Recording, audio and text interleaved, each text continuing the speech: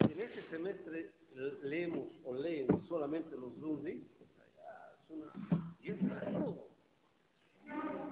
¿Ah? No, o sea, sí.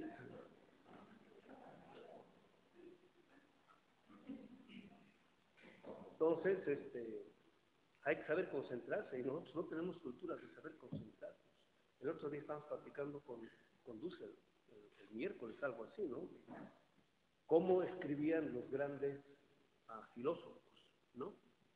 Entonces, a Dussel, por ejemplo, la ética de la liberación latinoamericana, ¿no? Él tenía, yo he conocido dos maquinitas de escribir, ¿no? Olivetti, una para el texto y, el otro para los pies de páginas, de las notas. Él escribía directamente, o sea, no tomaba apuntes, él estaba investigando y ahí o sea, directamente hasta el limpio. Y eso es lo que conocemos los seis tomos y volúmenes. ¿No? Ahora, estoy hablando del, del 69, 68, 70. ¿No? ¿Cuántos años tenía Dulce en el 68? Nació en 34. ¿Cuántos? 34 años. ¿Sí? ¿34 años? ¿No? 34 años él está escribiendo directamente. Cuando eh, esa práctica la agarra cuando está haciendo su tesis de doctorado. ¿No? Está leyendo, está investigando y directamente haciendo el texto, el texto, el texto, el texto. Y, y le salió un choncho, no note, de casi 2.000 páginas. ¿no? Choncho, no note eso. ¿Por qué? Porque tiene, tiene la costumbre, la cultura de escribir. ¿no? Pero a su vez de concentrarse en algo.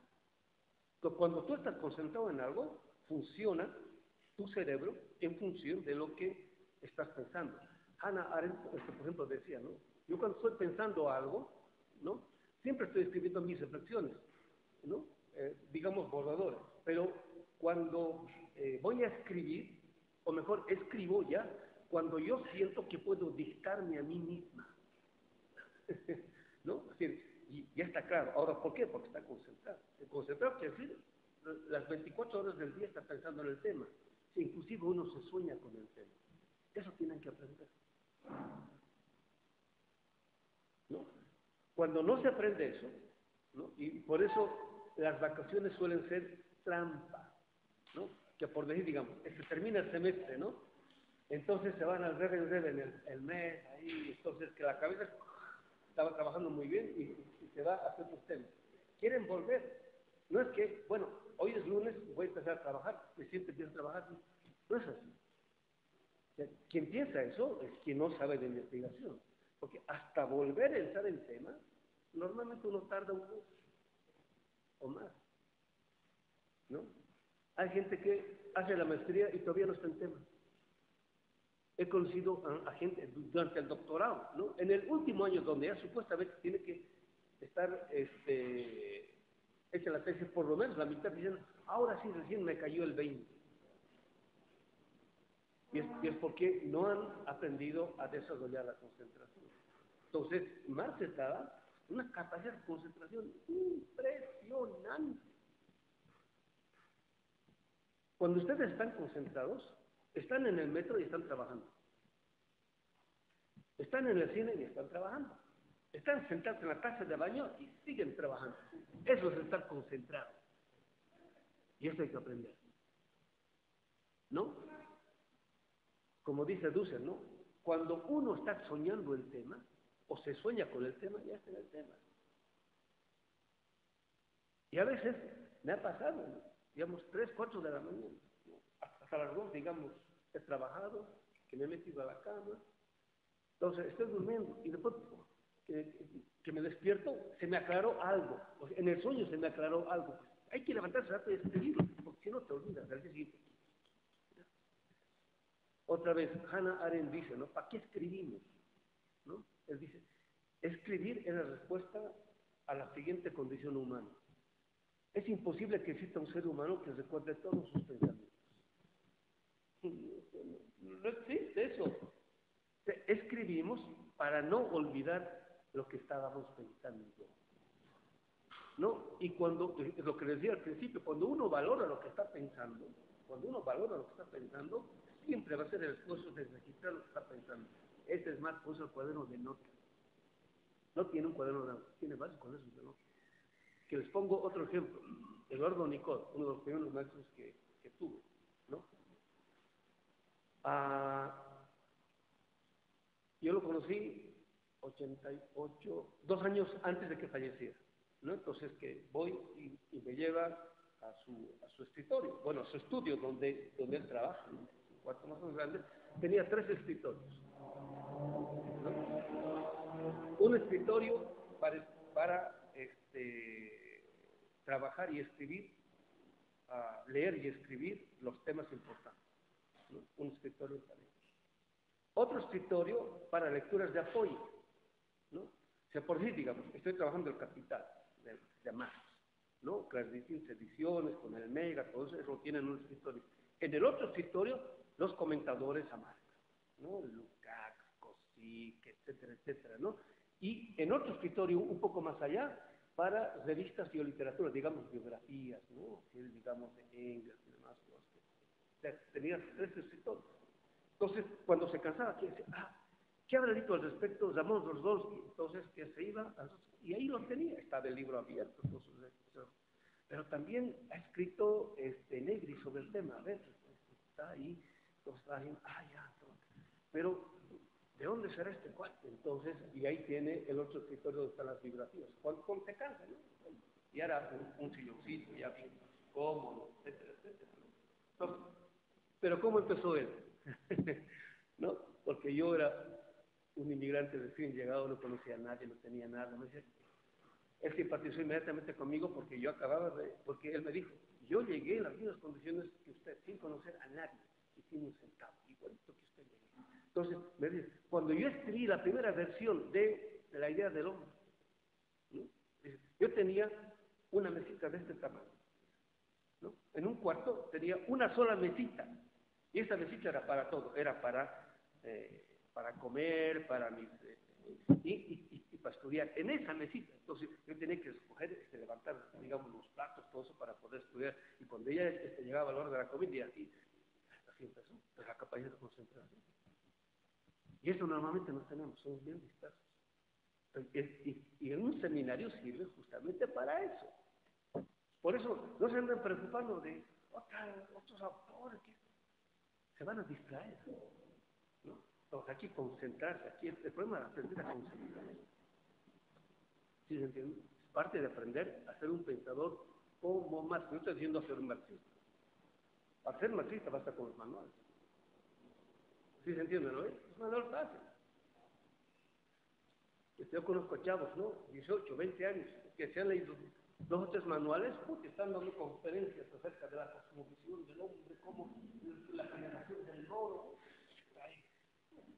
pero se han perdido el manual, bien, están repitiendo eso, repitiendo, y la gente escucha, wow, ¿cómo hablan Dios? También quieren que hable de Dios, compran el libro, y, y creen que es así. Después, van a Marx y van a las mismas citas que citan ellos con esa interpretación y creen que y, sabe, ¿no?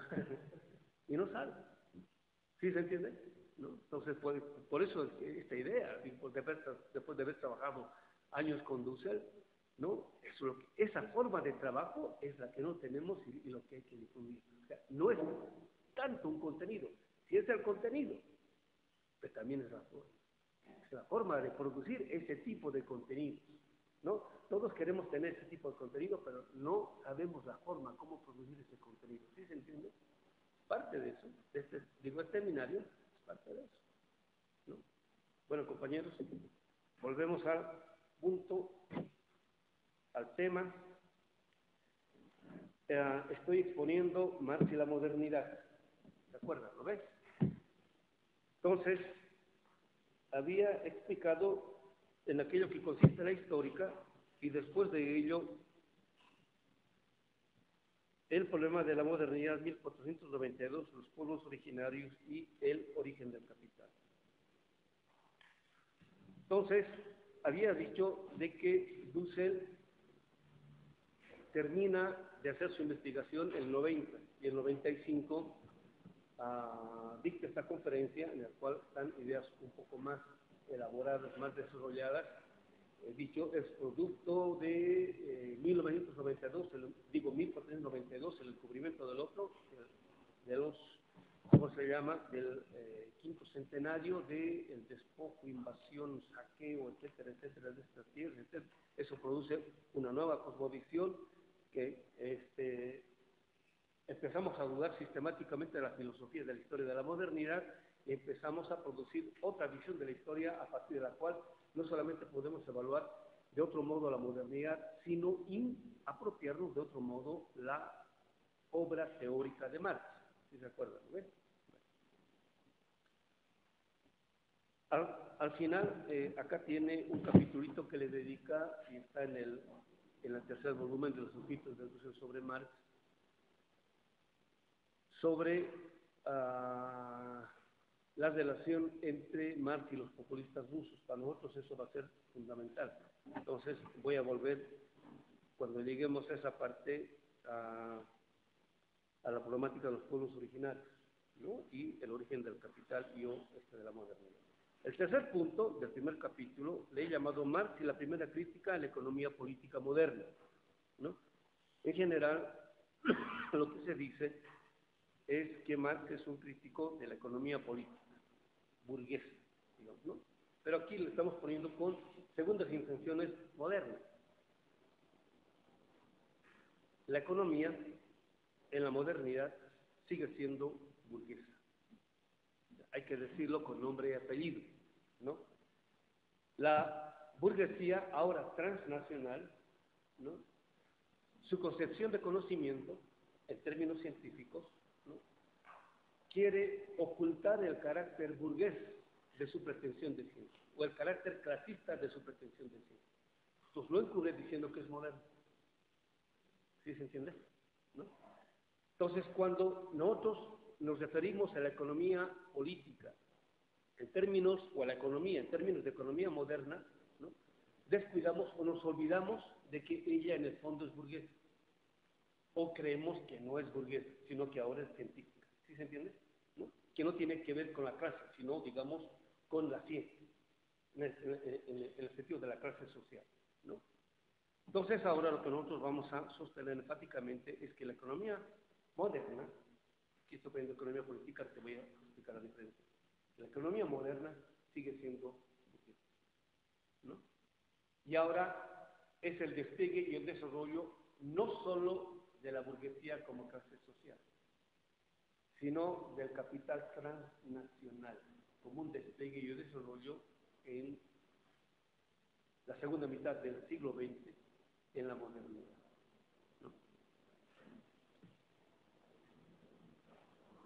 ¿Qué es aquello que Marx trabaja en, ah, en la crítica a la economía política moderna? Entonces, antes hay que aclarar qué significa economía política los conceptos siempre hay que aclarar para saber a qué dimensión de la realidad nos estamos refiriendo cuando hablamos de ello. Entonces, de todo lo que he leído, el librito en el cual se aclara del mejor modo que es economía política es este librito de Rosa Luxemburgo, que se llama Introducción a la Economía Política, de Rosa Luxemburgo. Genial.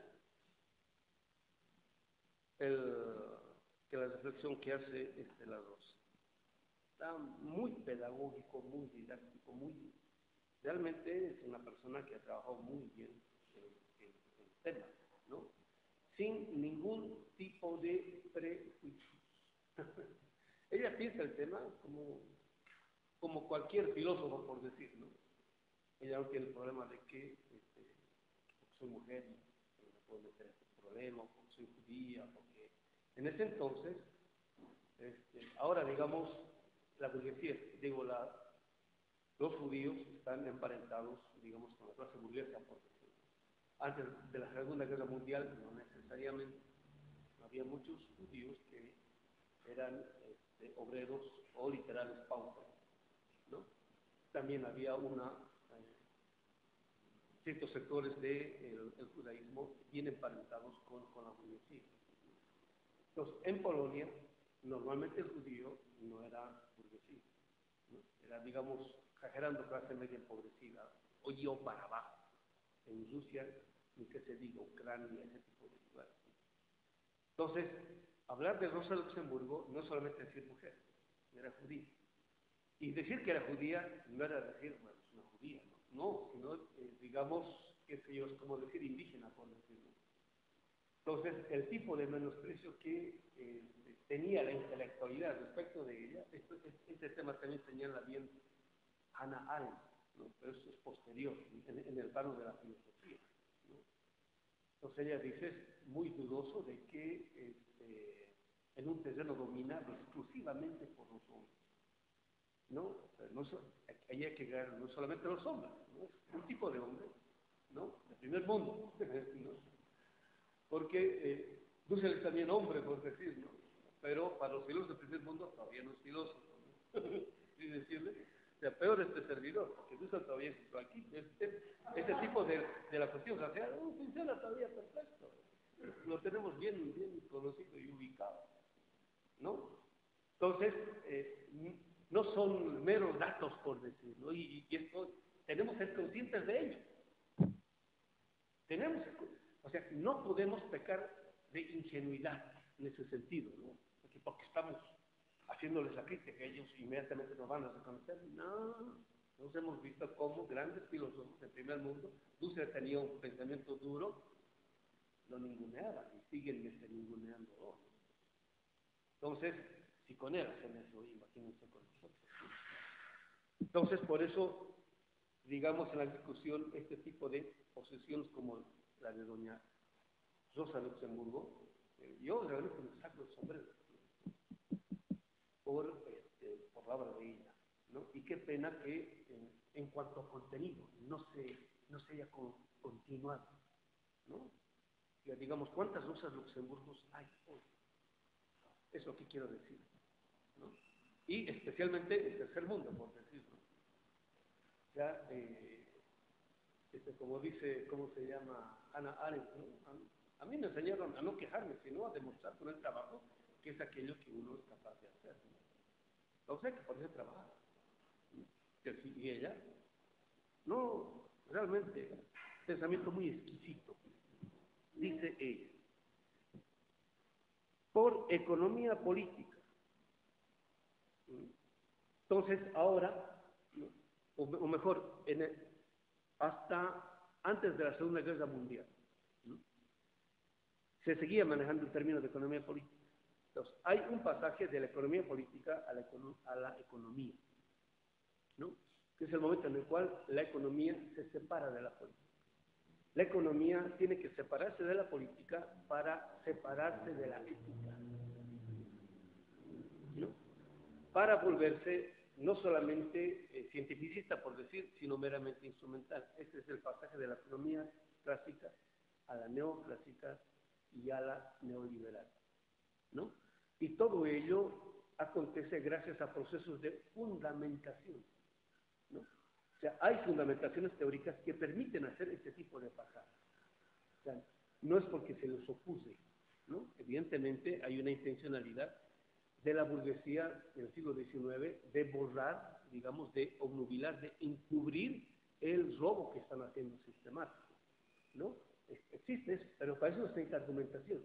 Y a cualquier tipo o cualquier escuela o cualquier corriente o teoría que eh, brinda o trabaja ese tipo de posibilidades, inmediatamente se le apoya con financiamiento, con recursos académicos para que continúe ese tipo de investigación y o difusión. ¿no? Es el caso, digamos, de los manuales de economía política como los de Samuelson, por ejemplo, la cantidad de ediciones y libros muy lindos, con tapas muy bellas, etcétera, etcétera. Y lo mismo a la difusión del pensamiento de Milton Friedman, ¿no? Igual. Entonces, en el principio, la economía política se entiende como economía nacional, ¿no? La economía que tiene que ver con, un, con una nación y un pueblo, ¿no? Eso quiere decir economía política. ¿No? Y es interesante, pero los, especialmente los, como se llama, alemanes y también europeos, eh, cuando hablan de economía política, siguen hablando de eh, nacional economía, o sea, de economía nacional, porque la economía política trata del modo como es que uh, un país es capaz de producir riqueza, ¿no? Pero cuando se traduce en el siglo XX al español, todo, todas las afirmaciones nacional economía automáticamente lo traducen como economía política. como si ya no tuviese que ver con el modo como es que un país en concreto produce o no riqueza, sino cómo en general se produce riqueza. Y este es el pasaje de la economía clásica a la economía neoclásica. En el principio, cuando surge el pensamiento de Adam Smith, él está pensando cómo países como Inglaterra son capaces de producir riqueza, ¿no? Pero ah, más adelante, años después, siglos después, el problema ya no es cómo, digamos, un país en concreto como Inglaterra produce riqueza, sino cómo un conjunto de países producen riqueza, en este caso el primer mundo, ¿sí se entiende? Entonces, eh, la tematización relativa a lo que sea la economía rompe las barreras nacionales. ¿no? Entonces ya no se lo puede llamar economía nacional. Entonces es otro de, digamos, los momentos históricos de esos los cuales la economía política deja de ser economía política para llamarse economía en concreto. ¿Sí se entiende? Pero en principio, o sea, el modo como Marx está, también, está tematizando el problema de la economía es en términos de economía política. Es lo que quiero decir. No en el sentido en el cual en el siglo XX se entiende a la economía. ¿Sí se entiende? ¿No? Entonces, al principio, como la economía política tiene que ver con la producción y reproducción de la riqueza de un país, tiene que ver con el modo como es que produce el bienestar económico de un país en general, incluyendo toda la población. ¿No? Si al principio, digamos, al Estado burgués le interesa la reproducción de la riqueza o de la vida de un país, incluyendo sus propios pobres, es, el problema del seguro, educación gratuita, este, salud para todos, trabajo para todos, etcétera, etcétera. Ese, es el problema. Al final, la economía va a devenir, ¿no es cierto?, en la producción y reproducción, ya no de la vida de un país o comunidad, sino la producción y reproducción de la riqueza. En este caso, de la ganancia. ¿No? O sea, eh, hay un desplazamiento, ¿sí se entiende? ¿no? Entonces, quien muestra muy bien ese desplazamiento es Rosa Luxemburgo. ¿Cómo se llega a esta clarificación? Entonces tiene en, las páginas estas, habla de los manuales espantosamente gruesos, ¿no? En los cuales se dice todo y a la vez nada. Entonces, la única forma de aclarar qué es, una, qué es la economía política es aclarando cuál es el objeto nos dice un gran economista eh, reputado de la escuela histórica, dice, por economía política o teoría de la economía nacional entendemos la teoría de las leyes del desarrollo de la economía nacional, de la vida económica nacional, como todas las ciencias referentes a la vida de una nación. Ella parte del estudio del individuo y se extiende al estudio de toda la humanidad. supuestamente tiene que ver con el estudio de que la economía es internacional y al final, supuestamente, es la ciencia de la humanidad. se va haciendo la burla, ¿cómo se llama? No sé Luxemburgo, de ello. ¿Se acuerdan de los blanquistas, a quienes hace la crítica Marx? Hay un tipo, un socialista, Adolf Blanqui, que escribe un libro que se llama Historia de la Evolución Económica con el siguiente rótulo, dice, la economía política es más antigua de lo que se cree. Ya los griegos y romanos tenían la suya. O sea, no es una ciencia actual, sino que ya... Y después, ¿se acuerdan de Ferdinand Lasalle? De los lasallistas, ¿no? Que Lasalle fue alumno directo de Marx. Y él escribe otro libro que se llama Capital y Trabajo. Entonces dice, la economía política es una ciencia de, la que solo existen los primeros elementos y que está aún por hacer. no hay, ¿cómo se llama? No hay claridad al respecto. Eso es lo que ahí está mostrando. ¿no? Y hay cualquier cantidad de manuales y de textos relativos a la economía política. Y nadie se pone de acuerdo. Y entonces dice, frente a esto, Marx dio el título de crítica de la economía política a su obra económica fundamental, El Capital, cuyo primer tomo apareció tres años después. Y, ¿cómo se llama? Este Lasalle sabía más o menos eso porque había visitado personalmente a Marx en su casa. Marx, ¿cómo se llama? Da una respuesta a, eh, a la problemática contenida en la economía política burguesa. Otra vez. Sin embargo, que después de toda esta, ¿cómo se llama? Toda esta confusión, una cosa es cierta, dice Rosa Luxemburgo. En todas las definiciones de los sabios burgueses que hemos citado, se trata invariablemente de la economía política.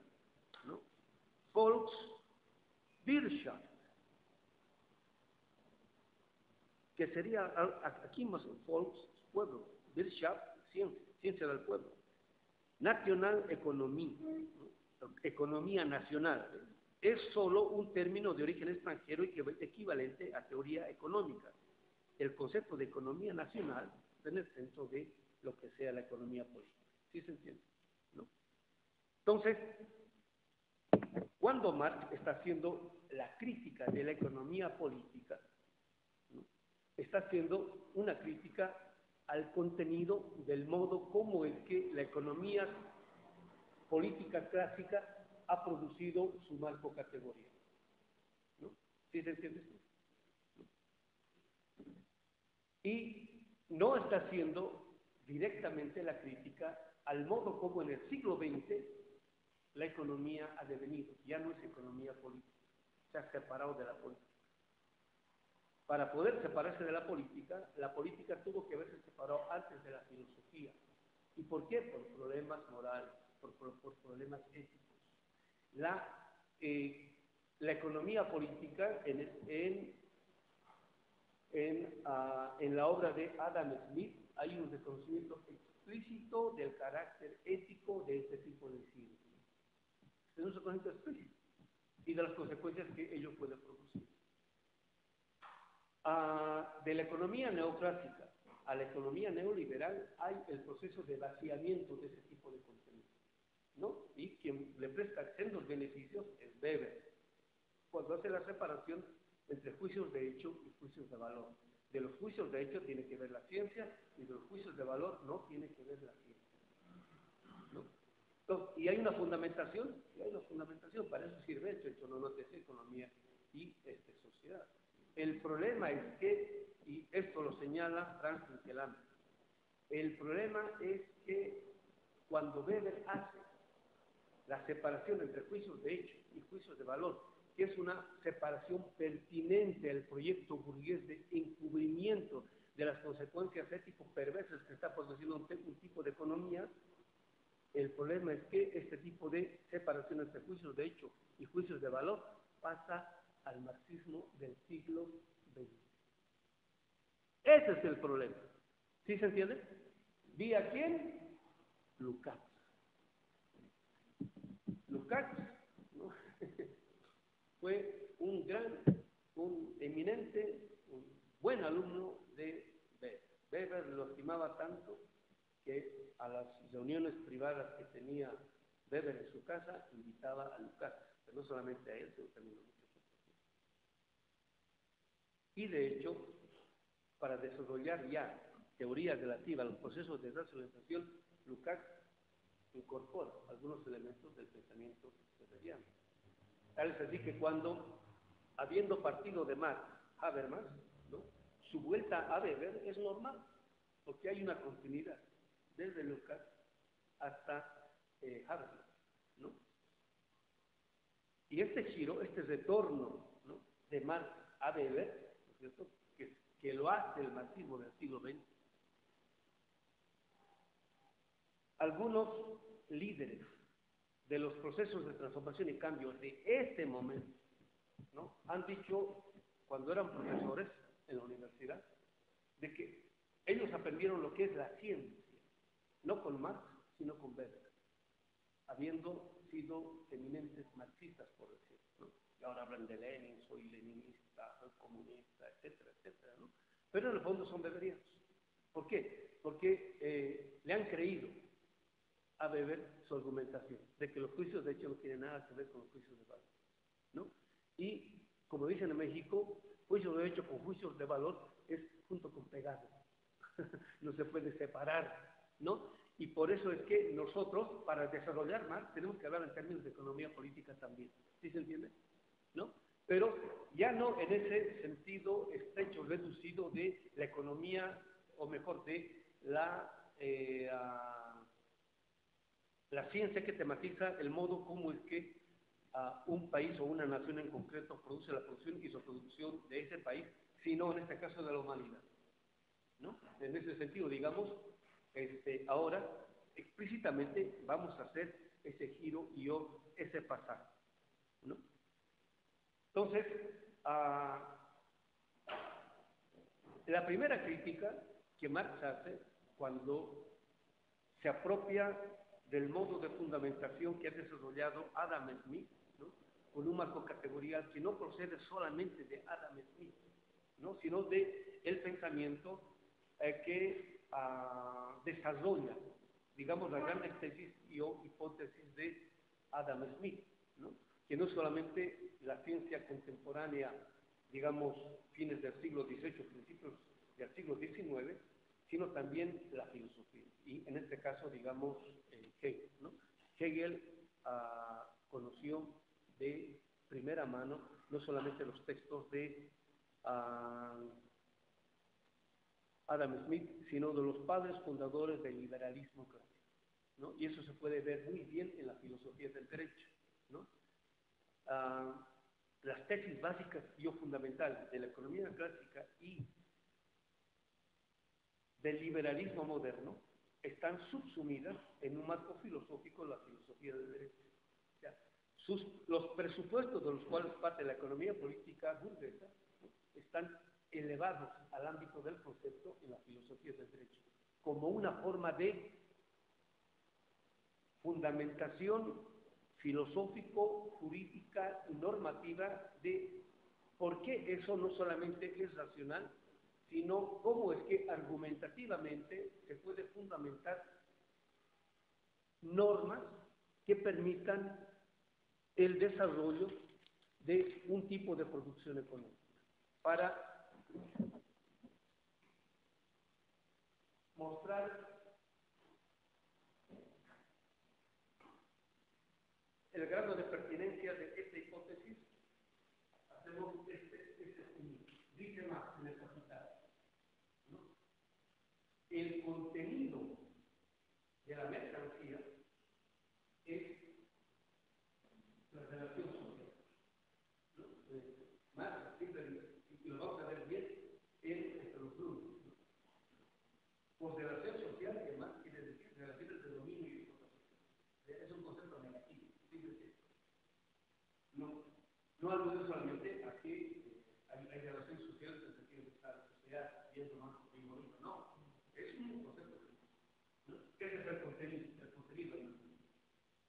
La forma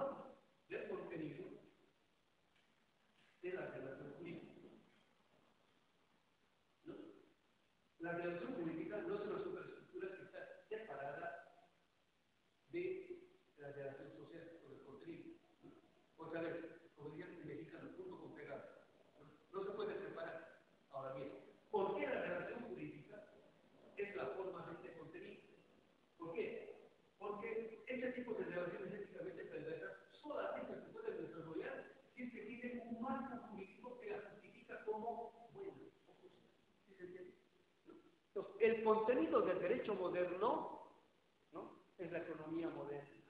O sea, el derecho moderno, abstracto formal, ¿no es cierto?, es el que permite que ese tipo de contenido, ese tipo de relación, ese tipo de explotación se pueda desarrollar impunemente. ¿no? Y por eso es que el capitalista, el burgués, es el más celoso cumplidor de este tipo de leyes, porque estas leyes de amparo al principio, ¿no es cierto?, son leyes inherentes, digamos, a los países y o este, naciones, por ejemplo, ahorita, ¿no es cierto?, es el, es el problema de la discusión en, en, la constitución política del Estado mexicano, ¿no? ¿Cómo es que se puede abrir al capital transnacional? ¿no? Cuando se impone el modelo neoliberal en otros países, en la década del 80 y el 90, ¿no? las transnacionales saben ¿no? que la única forma que ellos tienen de poder operar en otros países es modificando nuestras constituciones políticas del Estado para que las constituciones políticas del Estado amparen al capital transnacional y no al pueblo. ¿Sí se entiende? ¿No? O sea, por eso va junto con pegado. que así se eh, el contenido de la democracia de la filosofía y la forma de la relación política. ¿no? Entonces, cuando queremos ir más allá del capitalismo, con la idea moderna, con la concepción moderna de derecho, es imposible, no se puede. ¿Por qué? Porque es un derecho ¿no? eh, desarrollado desde el principio, ¿no? Para amparar relaciones capitalistas de producción. Ahí se acabó. Y, y ahora este, neoliberales. ¿no? A ver, ustedes, si tienen problemas con alguna transnacional aquí en México, pues han hecho lo que sea, ¿no? Vayan al Estado a quejarse para que este, juzguen, digamos, ¿no? O, no, van a salir perdiendo, van a salir perdiendo. ¿Por qué? Porque eh, nuestras constituciones las amparan. ¿Sí se entiende?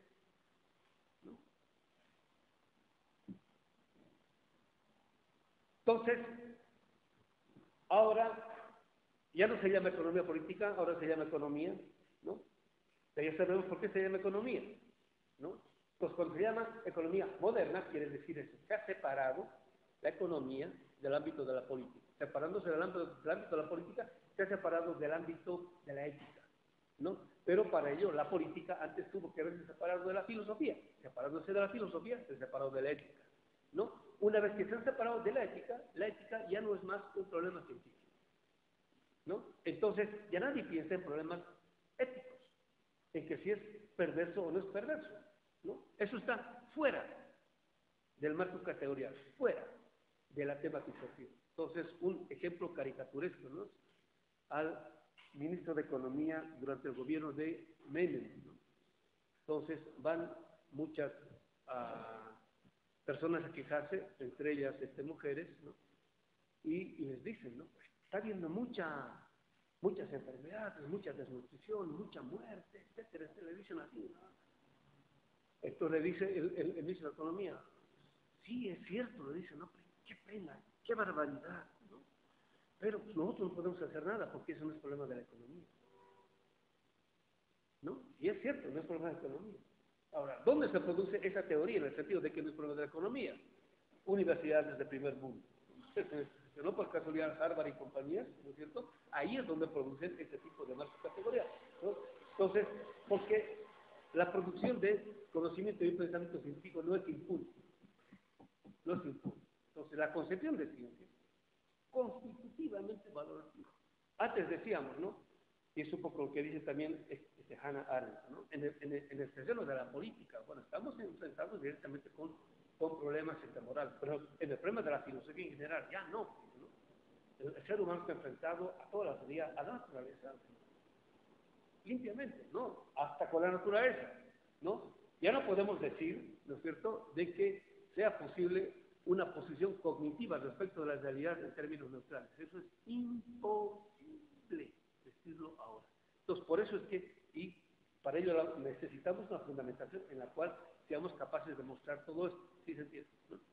Esta fundamentación normal, esta fundamentación tiene que estar desarrollada en términos tales de que sea posible demostrar lógico-argumentativamente la falacia de la fundamentación que de la ciencia, la economía y la política ha hecho la modernidad. ¿Sí se entiende? ¿No? ¿Cierto? hay, hay que mostrarlo. Y ahora estamos como más o menos en condiciones, en condiciones de poder hacer eso. Por eso ahora nuestro problema es la economía política moderna. ¿no? Pero cuando decimos la economía política moderna, no estamos siendo la actual, sino la modernidad como estadio cultural y, civilizatorio que hace posible un tipo de economía como esta. ¿Sí se entiende? ¿No? Y ahora ese problema está metido dentro del marxismo, dentro de los marxistas. ¿no? Por eso es que ya no se debate tanto los problemas en términos de economía política. Y bueno, aquí está avanzando Dussel en ese sentido.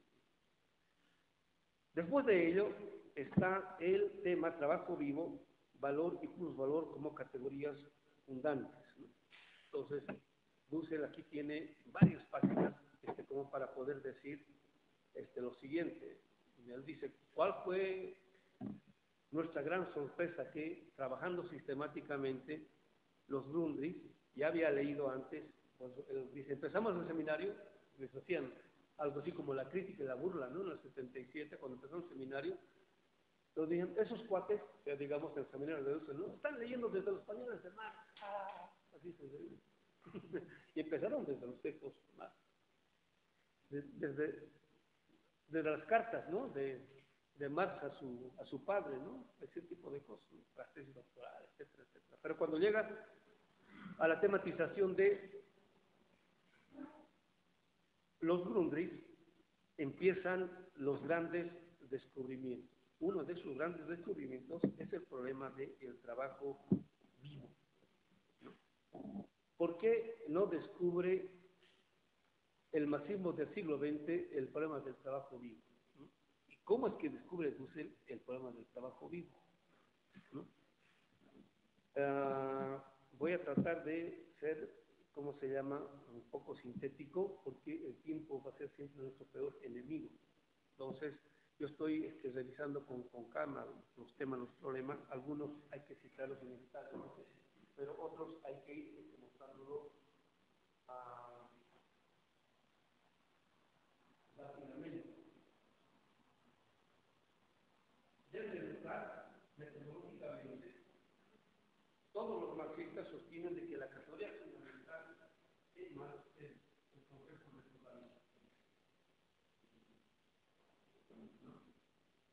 y demás, por eso, y ahora es cierto que no está la totalidad. Cuando empezamos a leer los Grundrisse, ¿no es cierto?, este, la reflexión metodológica que hace, y ahí vamos a ver, el problema no es solamente leer, sino que hay que saber leer. Entonces vamos a sostener la hipótesis de que la reflexión metodológica que hace Marx, él no está escribiendo su método, él está escribiendo el método de la economía política. Y está claro ahí. No dice eso, bueno, vamos a ver el método de la economía política. No dice mi método. Tampoco dice el método de la crítica de la economía política. Método de la la economía política. ¿Sí se han tomado como que eh, esa reflexión metodológica tiene que ver con su método en, los Entonces, el gran no retornó a Hegel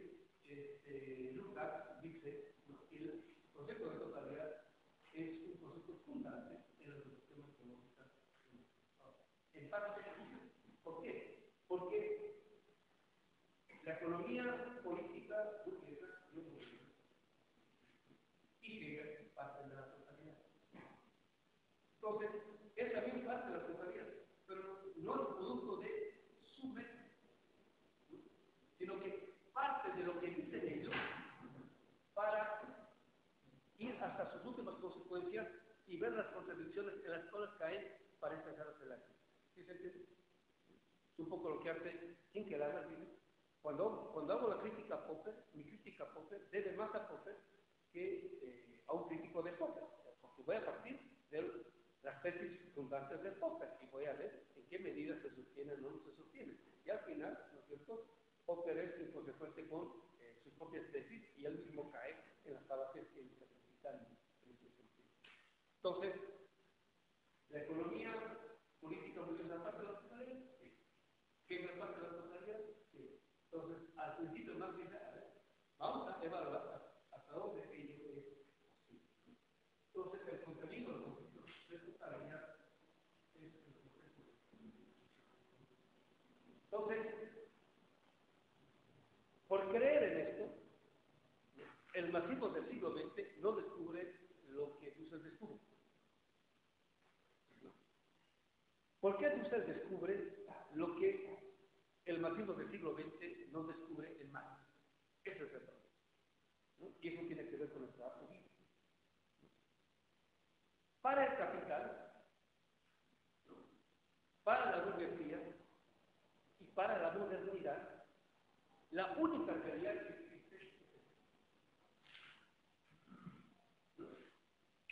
más allá de la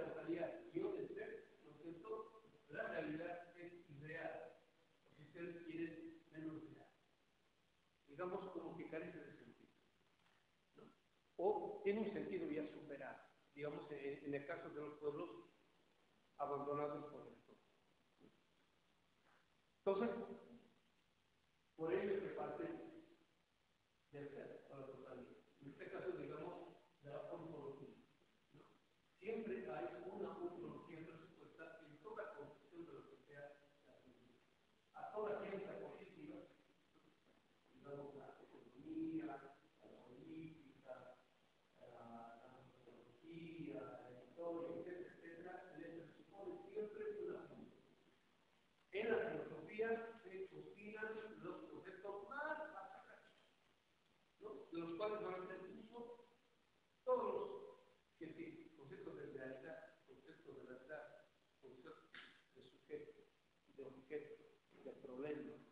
de investigación, etcétera, etcétera, se trabaja en la filosofía.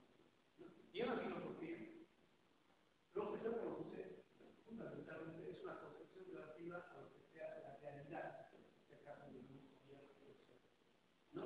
Entonces, de la idea de totalidad puede ser, de la cual están partiendo ellos, es de la visión que de la realidad ha producido la perspectiva. Dice eh, ¿no? No es cierto que el ser humano es un ser egoísta por naturaleza, eso es falso. Lo que sí es cierto es que esa es una realidad puesta por el capital. O sea, antes de que exista el capitalismo y la modernidad, ese tipo de realidad no existía. Entonces, produce una realidad en la cual el ser humano se convierte en lobo del hombre. Una vez que han producido esa realidad, dices, ¿ves?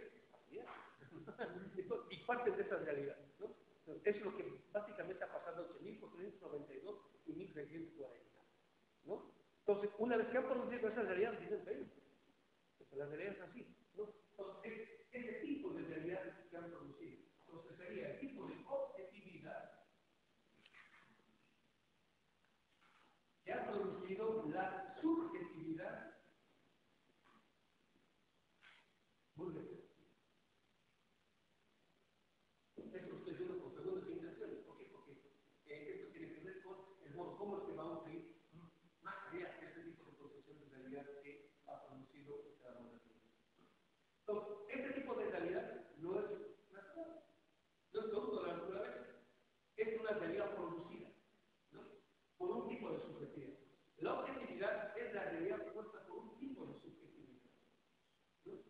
Una vez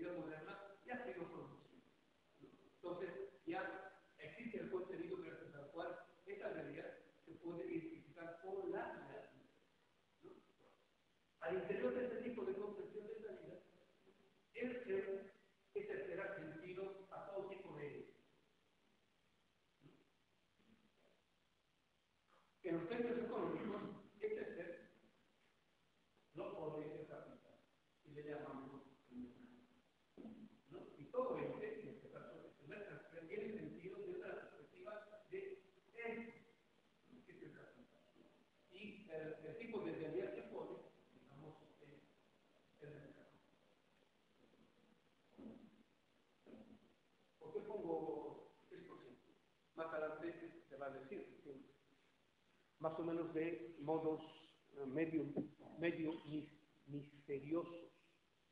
¿no? El capital es una relación social. ¿no? El capital no es acumulación de dinero, cualquier cantidad de dinero. Yo puedo tener cientos de millones de dólares en el banco y no es capital. Es cierto. ¿No? Entonces, como es un tipo de relación al capital, dice, eso es lo que no veo. Lo que veo es el mercado. Ahora, así entre comillas. Porque lo que vamos a ver del mercado, a partir de la mercancía, es un reflejo. Ese reflejo vamos a ver en la dimensión jurídica de la realidad. Supongo que lo que dice Marx en el capital, ¿no? Que el hecho económico como hecho económico en concreto yo no lo veo, sino es a través de la relación jurídica. ¿Dónde la relación jurídica? En el contrato, en los contratos. ¿no? Es imposible una relación económica al margen de la relación jurídica. Entonces, para poder ver lo que no vemos, necesitamos conceptos y categorías. ¿Sí se entiende? Entonces, el marxismo del siglo XX tenía ese tipo de conceptos y categorías que definían la realidad al interior de la totalidad y del ser. Y eso no permite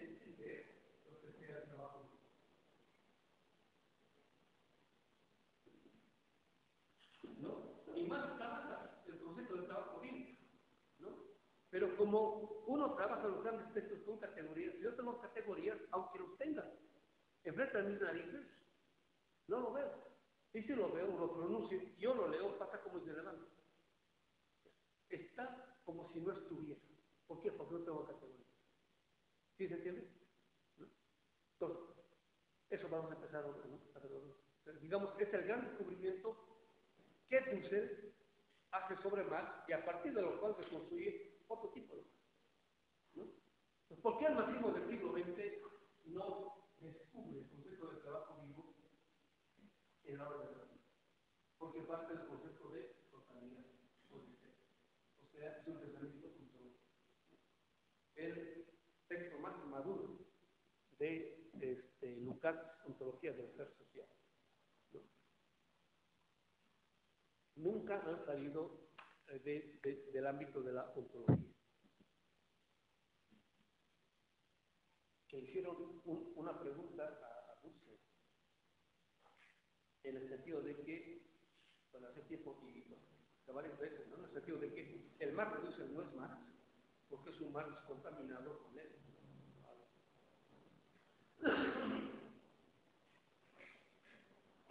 ¿Cómo es que Dussel puede descubrir hasta en el tercer tomo de del capital. Porque él, antes de trabajar la obra de verdad, había trabajado, ¿no es cierto?, eh, la concepción en la cual existe siempre un más allá de ser producido por la totalidad. ¿no? Para lo cual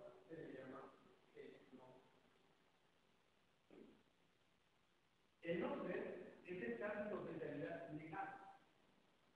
No solamente por el capital, sino por la totalidad vigente. Lo niega sistemáticamente, es más, necesita negarlo para poder afirmarse como es, o sea, es parte constitutiva. Tengo que negarlo. Si no lo niego, entonces es perdido. Eso quiere decir. Por eso es que el no ser aparece cuando aparece de modo de no tiene nada que ver. Entonces, a partir de Levinas, lo voy a decir así que de modo sistemático, la gran crítica a la ontología moderna empieza con Levinas, ¿no? con la afirmación de el no ser o el control, más allá de lo mismo, tiene que ver con las normas de la identidad y los Pero el contenido de el no ser yo el otro, en la historia del pueblo judío, tradición de la cual el proceso. Tiene hay un contenido ahí, siempre hay algo que se está pensando de modo formal. Cuando Dussel se apropia de este contenido, perdón, de este concepto, no se apropia con este contenido, sino que le da otro, tipo de contenido el contenido que se le da es que el otro, ya no es la tradición judía o el pueblo judío, o el judío, digamos, antes de la de la comunidad, ¿no? sino que es el pobre o el pauper que ha producido sistemáticamente esta forma de dominio, ¿no? y en concreto el pobre latinoamericano. ¿no? Entonces, por eso cuando Dussel habla de que el otro o el otro, no está hablando del mismo contenido al cual en ese sentido, Dussel no es refinanciado. ¿Sí se entiende? ¿Por qué? Porque ha producido otro tipo de contenido respecto de un concepto. Cuando habla de el no ser o el otro, está hablando eh, de otro tipo de contenido. Está hablando de los pobres en concreto de América Latina, ¿no? Y del el mundo en general. este servidor va a ser un pasito más allá. Entonces, ahora, es cierto que el capitalismo y la modernidad producen pobreza, y miseria de modo sistemático, o sea, pobre, pobre. ¿no? Entonces, este servidor va a hablar cuando hable de no ser yo el otro de los pueblos originales, como más allá del pauper, digamos de la ciudad o de las zonas urbanas y suburbanas. Es un grado de exterioridad más allá, ¿no? ya no solamente, digamos, económica, sino que también es cultural y civilizatoria. Es un, ah, ¿cómo se llama? Es una exterioridad mucho más radical. Y ahora, yo empiezo hablando de los pueblos originarios andino-amazónicos, pero pueblos originarios los hay hasta en. Los hay en África, los hay en Asia, los esquimales. Y originarios no quiere decir, no es un concepto geográfico, es un concepto existencial. No, quiere decir que proceden de, tal lugar. Aquí lo que quiere decir es que son originarios porque han originado una forma de vida una forma de producción y reproducción de la vida en concreto. Y básicamente son seis sistemas civilizatorios. Y estos seis sistemas civilizatorios, ¿no cierto?, siempre digo, se han desarrollado porque han producido una forma de vida en concreto completa. Completa quiere decir desde el alimento hasta las producciones místico-míticas más sofisticadas. Eso, eso quiere decir una forma de vida. Pues por eso es que cuando hablamos de los seis sistemas civilizatorios, siempre los identificamos y o empezamos por el alimento. Mundo andino amazónico, por la paz. Aquí, por el maíz. ¿no? Este, ¿Cómo se llama? Los pueblos hindúes, ¿no? Es uh, las especies. Es la cultura de las especies. El cabo de oro, tienes el, el ajo, cultura. ¿No? En el Medio Oriente, la cultura de, ¿cómo se llama? El aceite, las olivas, el vino, el queso, ¿no? la leche, la cría, ¿no? este, las lanas, ¿no es cierto? Eh, los chinos, el arroz, y así sucesivamente. Eh, empieza por ahí, por ahí empieza. ¿no? Y la forma de desarrollo de esa forma de vida implica la producción de instituciones han permitido el desarrollo milenario de estas formas en concreto de vida.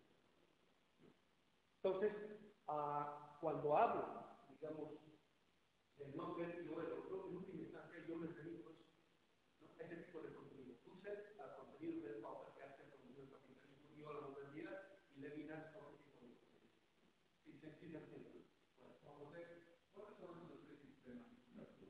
El avión amazónico, el mayo azteca, el africano banzú, el mesopotámico, el hindú y el chino. Esos son milenarios. ¿no? Y han proyectado sus instituciones. ¿no? De los cuales se ha apropiado eh, sistemáticamente a la modernidad. Entonces, como dulce no parte del concepto de ser y de totalidad, sino del concepto de no ser, lo primero que hace es buscar una pequeña reflexión metodológica acá. No es el tema todavía, pero tiene que ver. ¿no?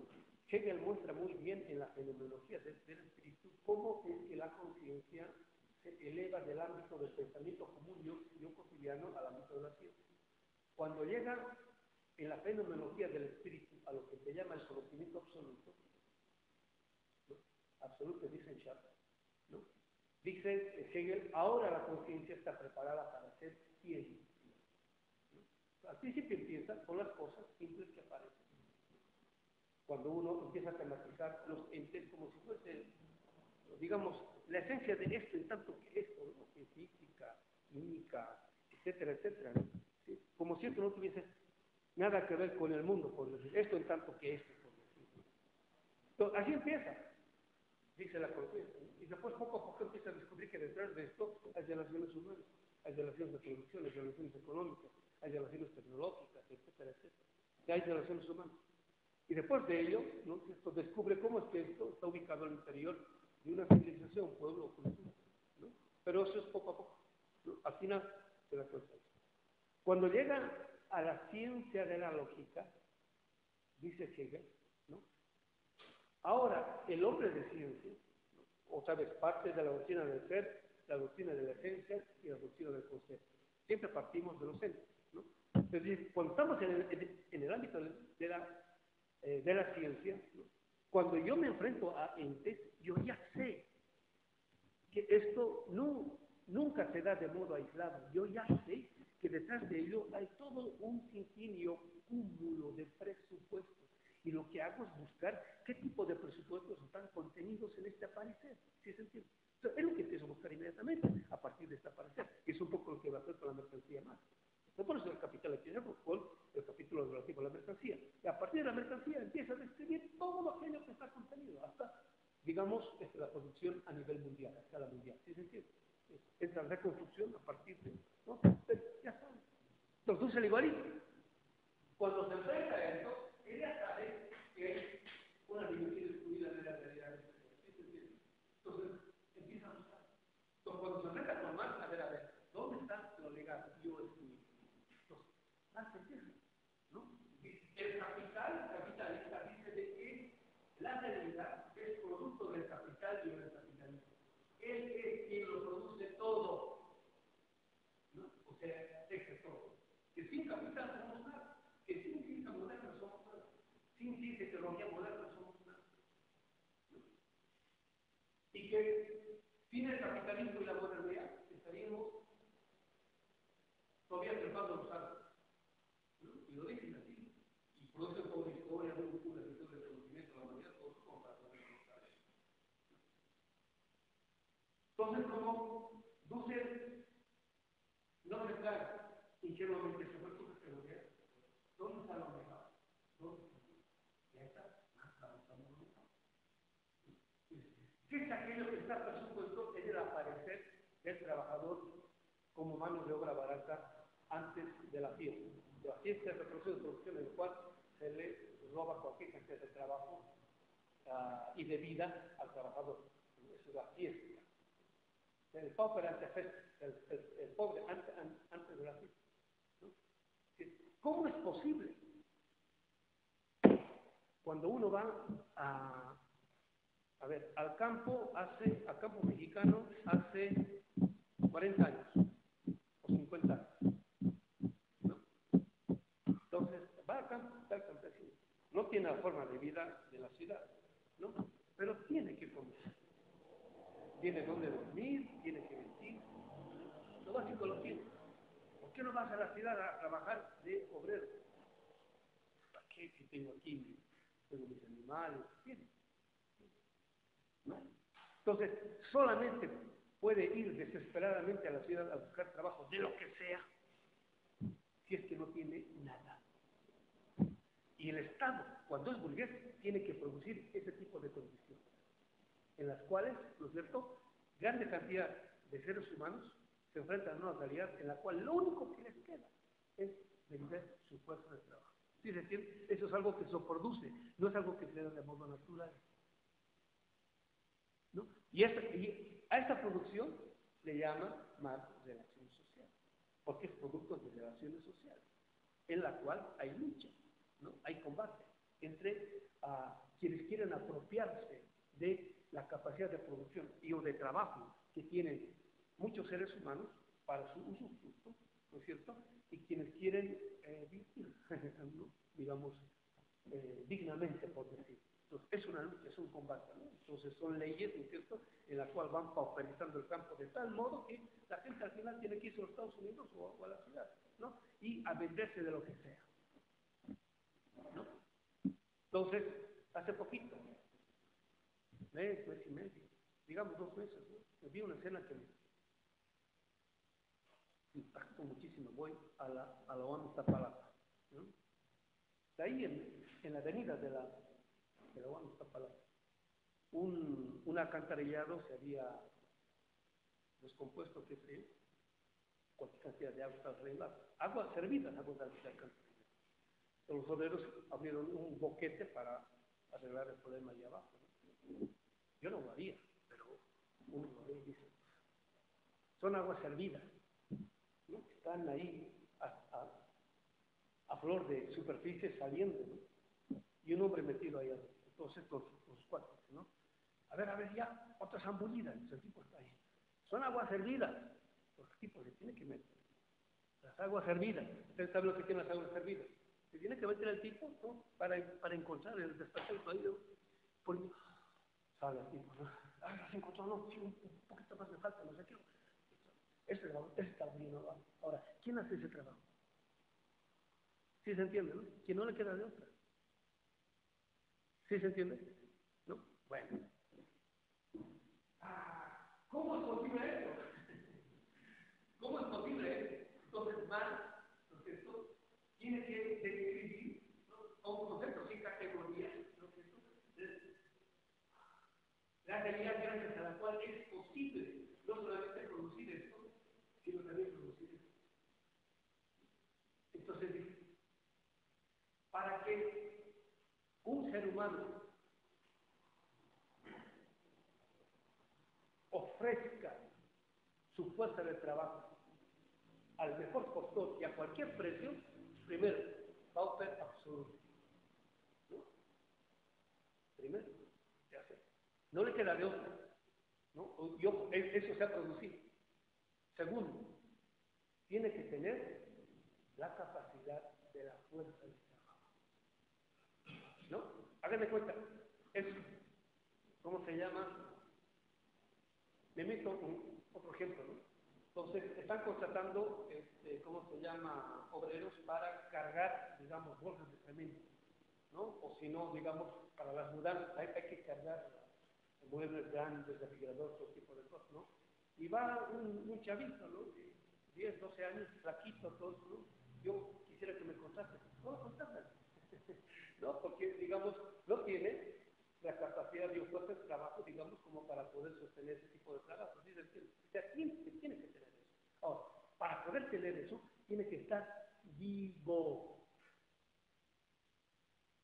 ¿No? O sea, el concepto de trabajo vivo, ¿no? Es el presupuesto absoluto gracias al cual, ¿no es cierto?, es posible ese tipo de mensajes y ese tipo de relaciones sociales. De lo contrario, es imposible. Imagínense que en México, tan grande México, ¿no? digamos, el, el 70% de la, de la población pobre, ¿no es cierto?, tuviese su casa, su campo, ¿no y un ranchito en el cual, de, de lo que surgían para vivir Habrían obreros en México, habrían pobres en México. Pero justamente porque la realidad es contraria, entonces hay cualquier cantidad de gente que está dispuesta, imagínense esa cantidad de centroamericanos ¿no? que, hacen lo que hacen para poder llegar al norte y vender su fuerza de trabajo al mejor costo. En mis tiempitos eran 5.25 la hora y había gente que estaba dispuesta a trabajar inclusive por 3 dólares la hora. ¿Por qué? Porque con eso seguían ganando, seguían teniendo para el ahorro, digamos, para el gasto y para enviar para el centro y para el sur. ¿Sí se entiende? ¿Por qué no le aparece eso a esta? Y más, describe eh, en, su obra, pero los batistas no se dan cuenta. ¿Por qué? Porque parte de este vaso de categoría leen a más con el vaso de categoría de pensamiento moderno. O sea, parte del concepto de realidad, el tipo de realidad que ha producido la burguesía moderna, parte de la noción de ser, parte del concepto de, de, de totalidad. Esto es, presupone como dado la subjetividad que ha producido este tipo de objetividad que a su vez ha sido producido por este tipo de subjetividad. Otra vez, para volver a la racionalidad de este Toda la determinación no solamente determina algo, sino que ha sido determinada. En eso consiste la racionalidad de No existe una relación unívoca entre la producción y el consumo. ¿no? la producción produce un tipo de consumo, ¿cierto? ¿no? Pero el consumo también produce un tipo de consumo. ¿Sí me entiendes? Toda la determinación no solamente determina algo, sino que determina. En este sentido, esta subjetividad producida ha sido producida por otro tipo de subjetividad, que ha producido un tipo de realidad, en este caso un tipo de objetividad, que ha producido esto que llamamos hoy como subjetividad ¿no? De esta subjetividad moderna es como tenemos este tipo de nacionalidad y de nacionalidad. Por eso volvemos a Marx. ¿Por qué volvemos a Marx? No para ser marxistas, sino para tener un marco categorial que nos permita pensar de otro modo a la propia modernidad cuando queremos hacer la crítica. ¿Sí se entiende? ¿Sí se entiende, compañeros? ¿Por qué? Porque Marx producido un marco categorial que permite hacer eso. ¿no? Para cuando hagamos la crítica, no pequemos de. Hay mucha gente que hace la crítica y parten de Marx, ¿no? pero sin este tipo de tematización y se caen en lo que están criticando. ¿Por qué? Porque no parten del marco categorial presupuesto en sentido estricto de rigor en el pensamiento de Marx, sino en el que ha producido la modernidad, en lo cual se le llama ciencia moderna. Por eso que, que la referencia, obra de Marx es científica. Sí, es cierto, científica, pero no es a la poca. sí se entiende, ¿no? No es a la dulce, ¿no? Ni a la francesa, ¿no? Sino que eh, tiene un concepto de ciencia que hay que saber deducir para, y va a ser el tema, va a ser el tema. Y ahí, digamos, el diálogo hasta con eh, Dulce. Entonces, del concepto del trabajo vivo, de se puede deducir, ahora sí, un concepto distinto del valor. Y en consecuencia del valor. Cuando lleguemos al problema del valor, vamos a leer el texto y ustedes, bueno, a partir de eso, muchos de ustedes inclusive se van a decir, ¿no? Ah, es lo que dice el, el, el del siglo XX, con, el, ¿cómo se llama? El contenido del concepto de plus valor, ¿no? Es el tiempo extra, digamos, que se ha producido. Otra vez, digamos, partiendo de ese tipo de, de la finalidad de éxito. El plus, ¿no? no solamente es un momento apoyo, el plus puede existir porque está constituido a priori. ¿No? Y esto en sentido estricto, ya no lo dice, ¿no? Que lo vamos a decir ¿no? Se puede producir un plus, ¿no? O sea, puede aparecer un plus, se puede objetivar un plus, porque las condiciones para eso están presupuestas. No solamente en el trabajo vivo, como forma de ser, como, como una nota existencial del ser humano, sino también contenida en la naturaleza si no estuviese contenido el plus a priori en estas dos fuentes, a partir de las cuales es posible la, riqueza, no existiría el plus a posteriori. ¿Sí se entiende? Vamos a hablar de un plus a priori, ¿no? Y un plus a posteriori. A ver, ¿quién les desafío? ¿Dónde han leído eso?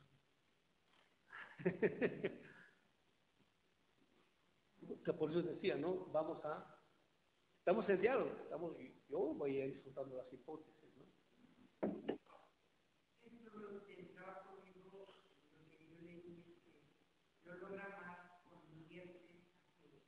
Sí.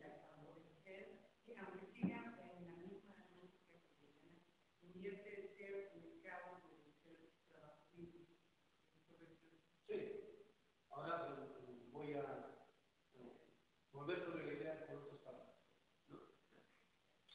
Toda la ontología moderna, toda la ontología moderna, esto sería desde Ginés de Sepúlveda hasta, bueno, hasta los actuales, inclusive la publicando sobre más, ¿no? Parte de la ontología del ser de la modernidad. No como eso. Por eso se hace la burla de la Pachamama, ¿no? Pues digamos que había una concepción de realidad ¿no? que parte del tema de la Entonces, más, si se quedaba atrapado en el interior de la modernidad y del capitalismo, habría partido también del ser. ¿no? Pero más no queda atrapado en el interior del capitalismo de la modernidad, porque parte de lo que ella sistemáticamente lee. Ese, ese es un momento de la vida. No es todo lo importante. ¿Qué quiere decir?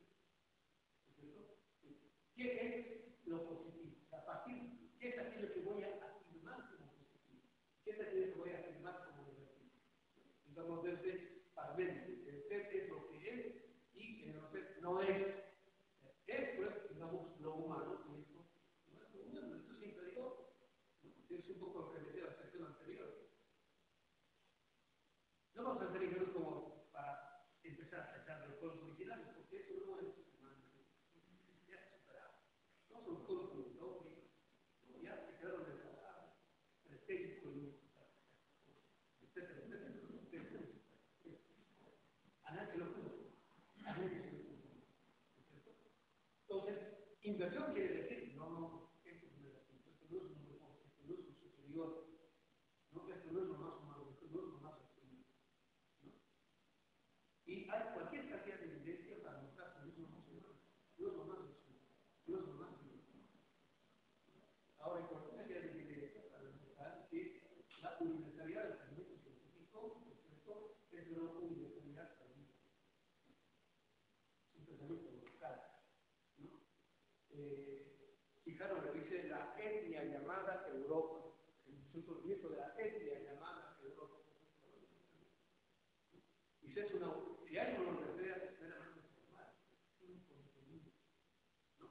que se le puede aplicar a cualquier cosa de la realidad, pero entonces ya no estamos hablando de la realidad en general, ¿no? sino digamos de una situación profesional. Entonces, parte de la inversión consiste en decir, ahora voy a partir de nosotros no voy a partir, eh, digamos, de, del trabajo, y, y por eso más tarde una, una diferencia el trabajo en tanto trabajo y el trabajo en tanto capital, subsumido por el capital. ¿no? Entonces, cuando confundimos eso, no hay que trabajar, lo mejor es ser ocioso. ¿Por qué? Porque si trabajas te van a explotar, y es cierto. Y es cierto eso. Entonces, el trabajo tanto trabajo, y por eso más empieza con una reflexión ontológica relativa al trabajo. El trabajo, ¿no? cuando lo es en sentido humano o en sentido radical humano, es realización del ser humano. Da gusto trabajar. Es un privilegio trabajar. Trabajamos de trabajo. Queremos trabajar nomás. ¿No? Mejor parte de la ciencia, entonces, no, hay que trabajar. ¿No?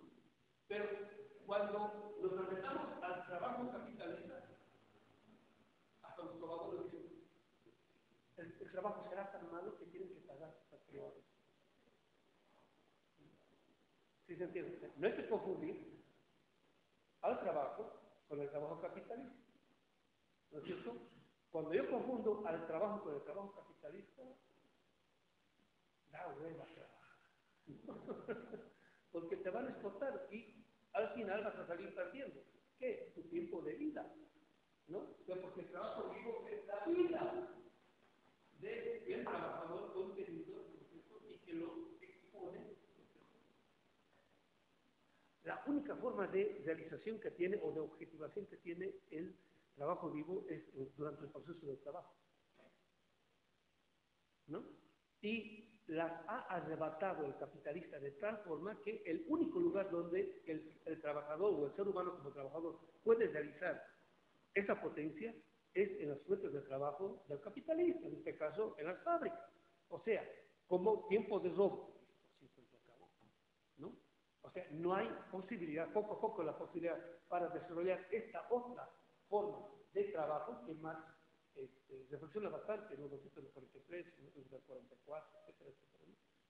¿no? Entonces, de lo que se trata es de generar condiciones de posibilidad de tal modo que ese tipo de trabajo sea posible, ¿no es cierto? Cuando el trabajo es restitución, restitución de la humanidad, y que a, su vez, ¿cómo se llama? Retorna a de donde ha, ha procedido, en este caso a la comunidad.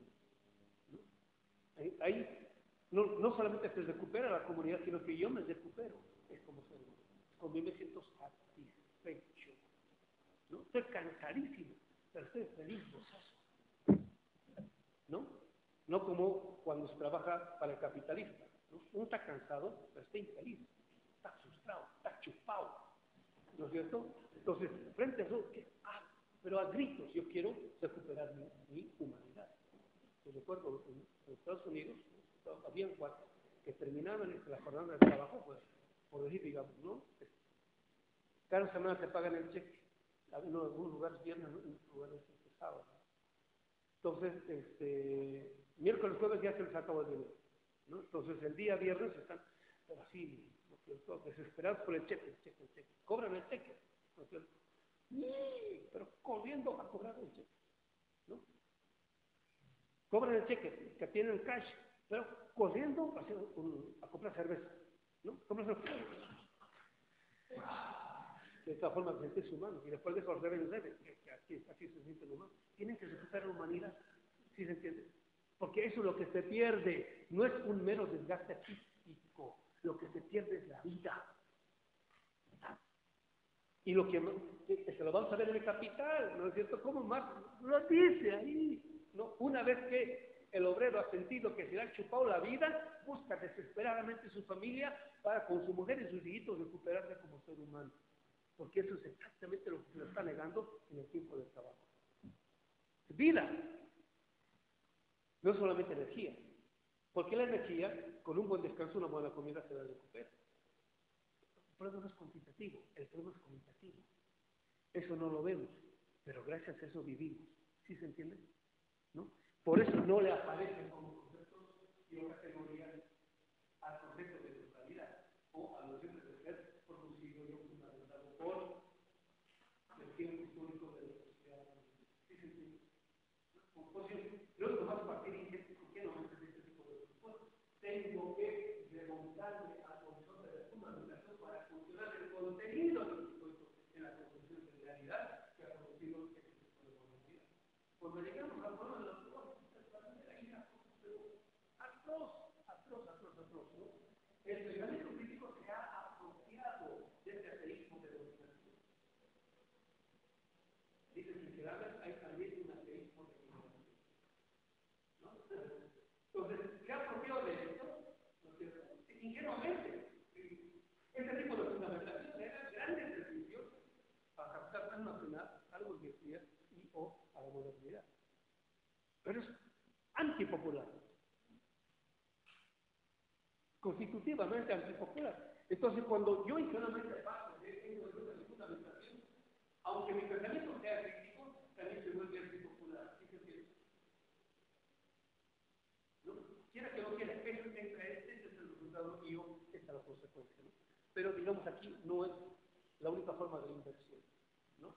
Porque hay, básicamente hablaba de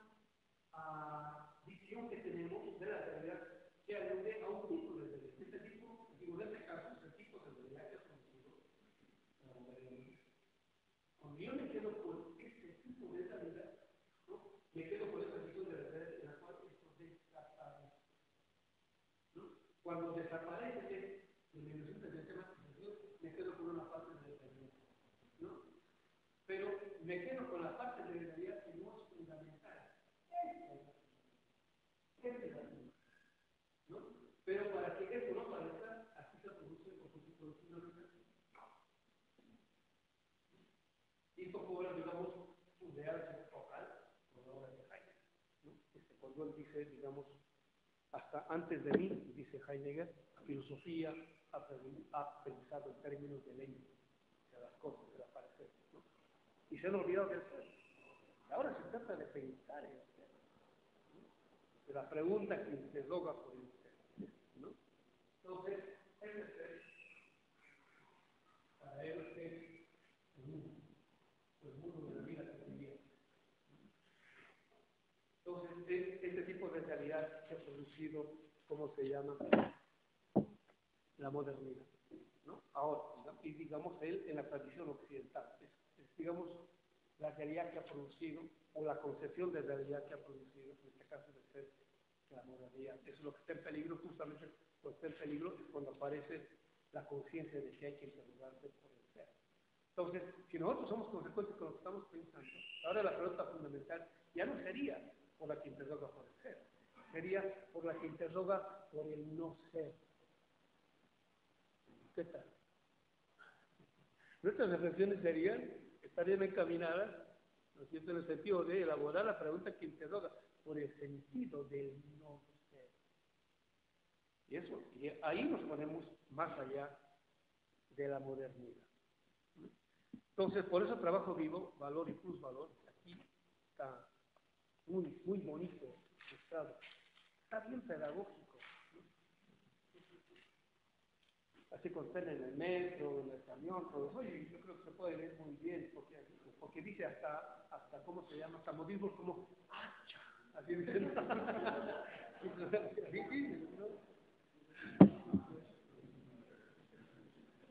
El concepto de clase social y la idea de pueblo como categoría política.